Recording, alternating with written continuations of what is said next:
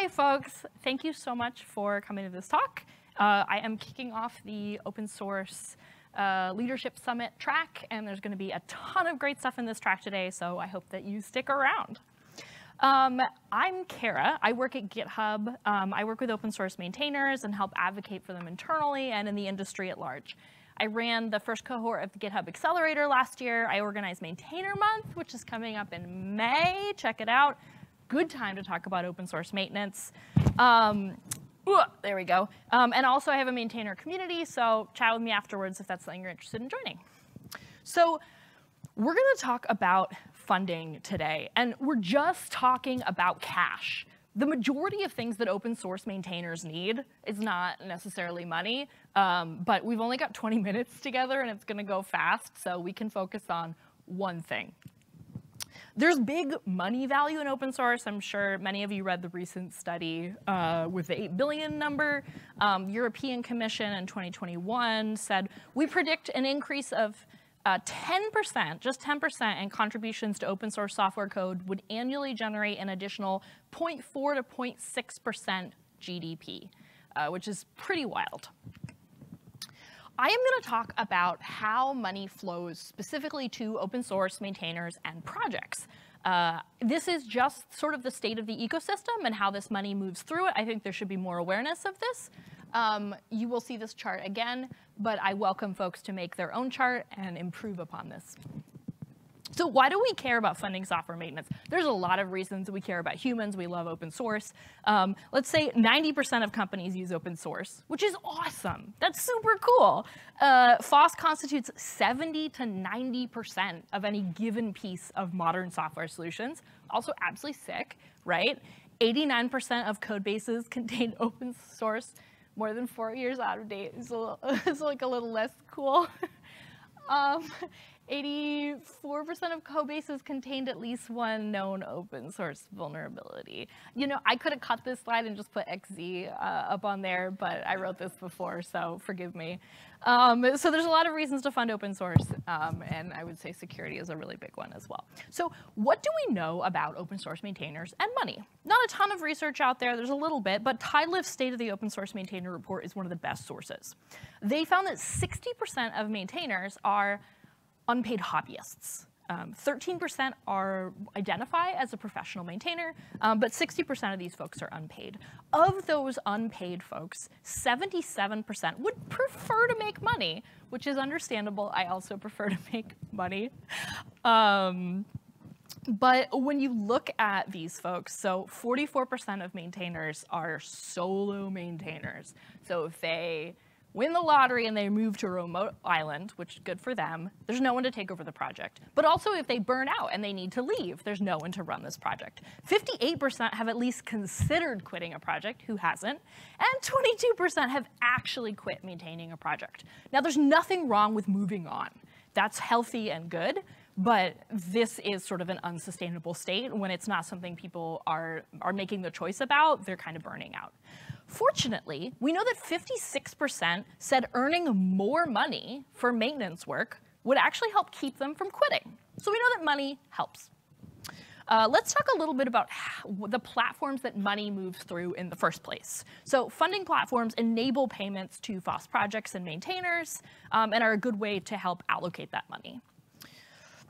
So we see funding platforms usually getting money from both individuals and from companies. There's a lot of great funding platforms out there. The more the merrier. They all have specialties, right? We've got dependency funding with like thanks.dev and StackAid. We've got Patreon, which has done such a great job with crowdfunding and has a lot of open source on it. So there's a lot of different models. I don't have much time, so I'm just going to talk about GitHub sponsors and open source collective, the fiscal host on Open Collective, um, because they contain many of kind of those different features across them. I'm also not gonna have time to talk about additional funding platform models, subscription models like Tidelift. Um, none of this includes quadratic funding, which is coming out of kind of the blockchain space. Um, we're not going to cover any of that here. But it's important to look at those models and consider them. So how much money is coming through GitHub sponsors and open source collective? This looks fake. It looks like a copy paste error, but it's, it's weirdly real. so through each of those, $40 million has come through since 2019, which is awesome. Um, direct money to open source maintenance.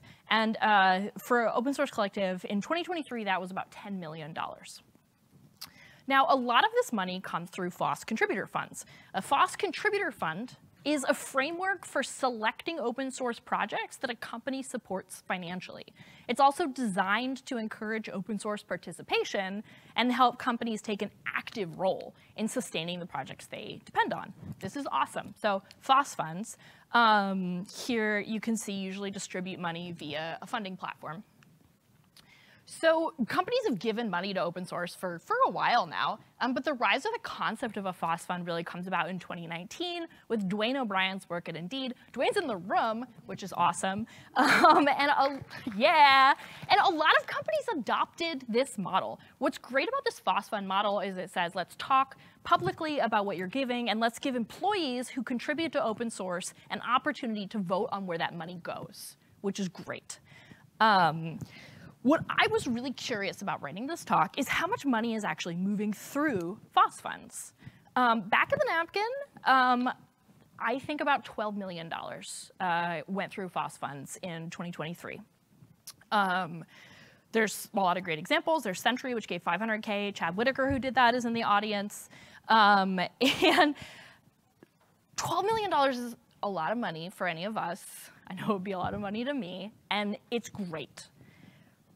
But this is kind of a weak number for companies giving directly to open source. Like this is pretty painful for me to see um, because we're gonna need a lot more money than that to sustain this ecosystem. Um, so what are some patterns around FOSS contributor funds? What can we kind of say about them? We know they're substantially benefiting maintainers, which is awesome, but they're also not, I mean, $12 million, they're not a sustainable single model for the ecosystem. We can't rely on them. We also know they're not really contributing in most cases to really stable, predictable funding. The majority of them have employees voting on things, which is good. I love that, but projects can't know if they're gonna get money or not, so that, that doesn't really, that's not long-term sustainability. Um, we also know they're particularly vulnerable to macroeconomic conditions. Um, so in 2023, a lot of FOSS funds took a dive. We saw companies that gave 500K in 2022 give $0 in 2023. They were not resilient. Um, we also know that expecting companies to fund open source for the positive press, I think is a failure. Um, I think it's good, like companies should get positive press and that rules, but we cannot rely on that model because that model has given us about $12 million.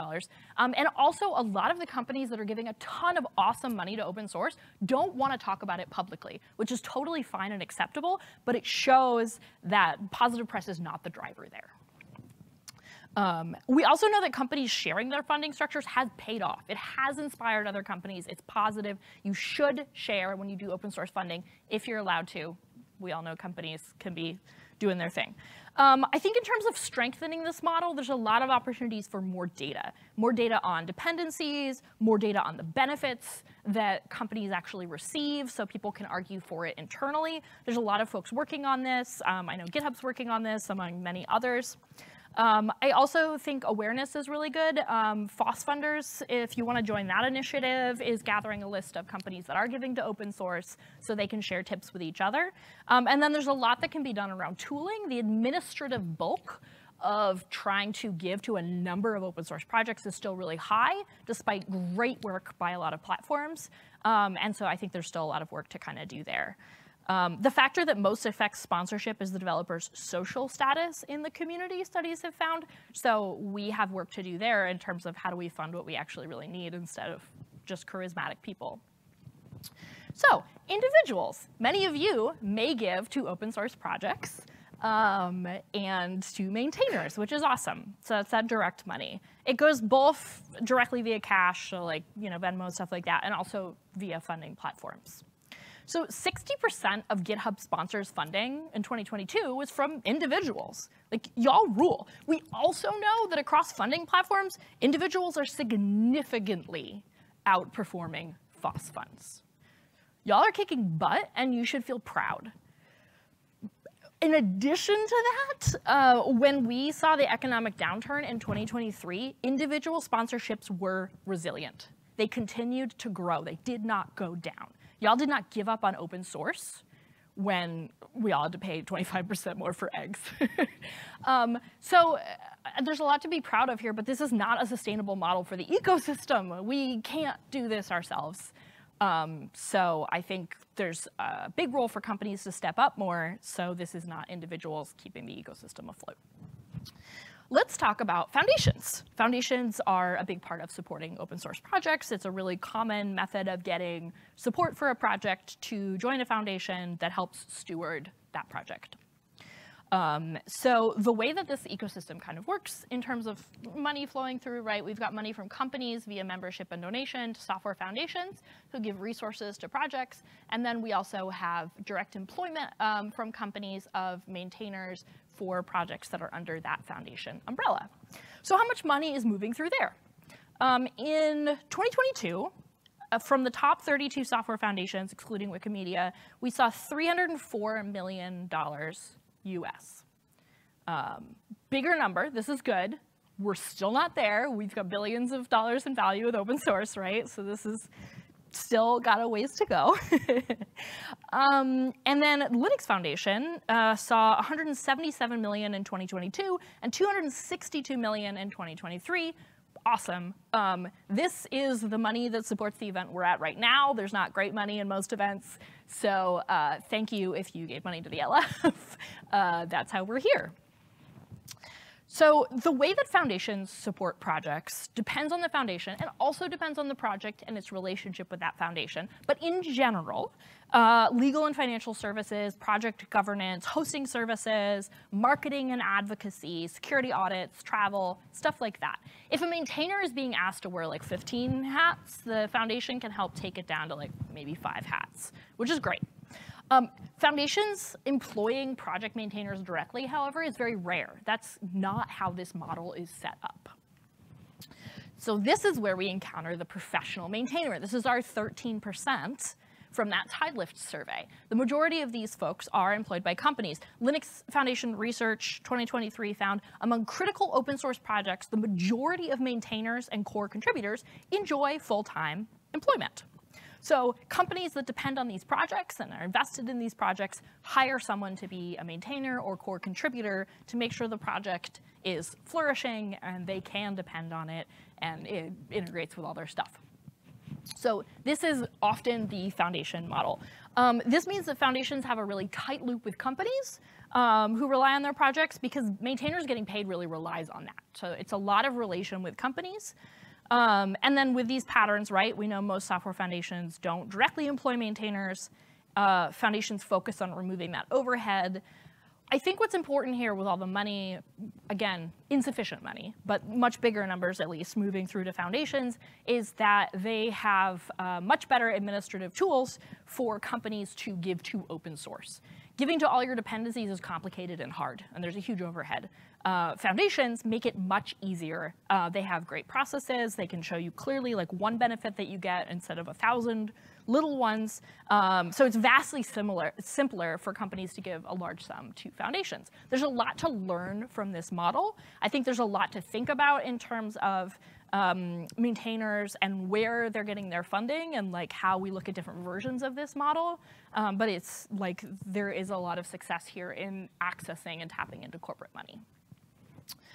Uh, I'd be remiss not to talk a little bit about grant and uh, government funding. So grant funding is a one-time agreement where you say, I'm going to do this. Someone gives you money to do it, and then you do it, um, which is usually different from maintenance funding this is via kind of two paths you'll see here, right? So we've got taxes coming in from companies and individuals through to governments doing grants.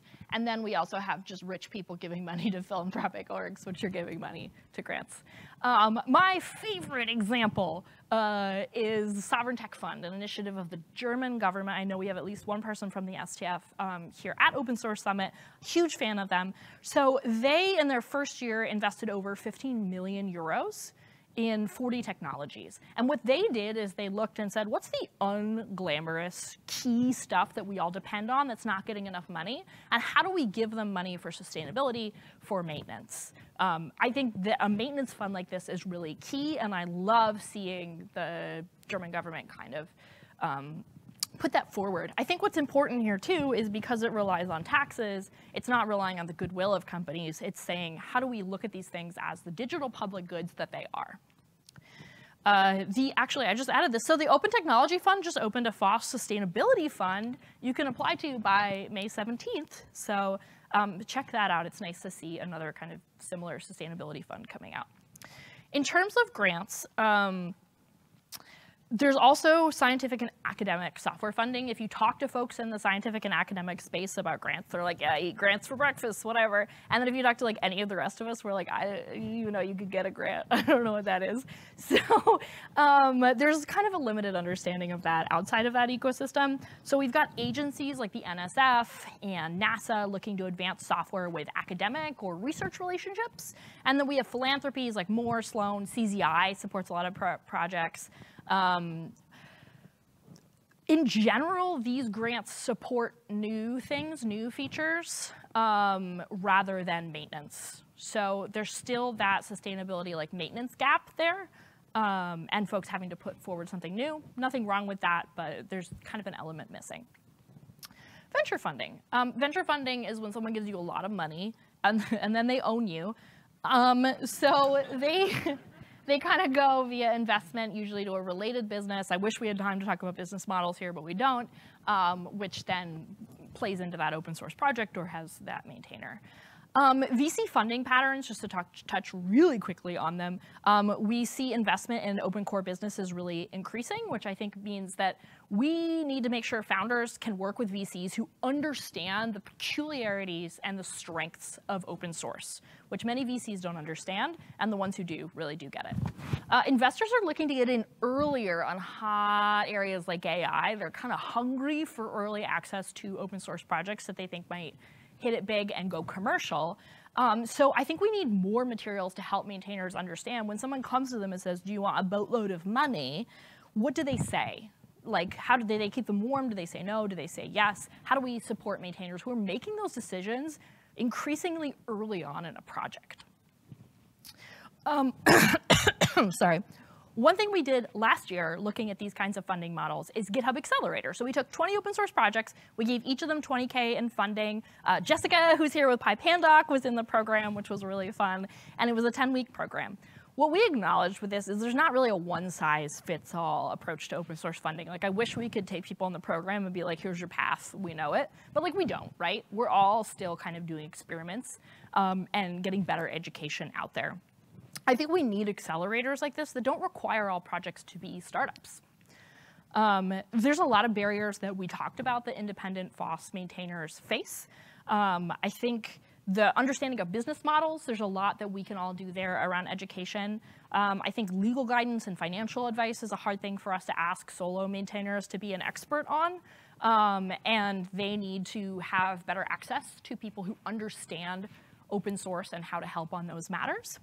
Um, there's also a lot of difficulties around community perception, this expectation that maintainers will work on their projects full time, but that we maybe shame them if they try to ask for money. So there's, there's a lot going on there in the ecosystem as well. Um, my, my favorite little, just to throw a little tidbit out there, right? Simon Willison of Datasette uh, was in this and did a really fun experiment to say, what does it look like to pay maintainers to speak to your team, like at your company?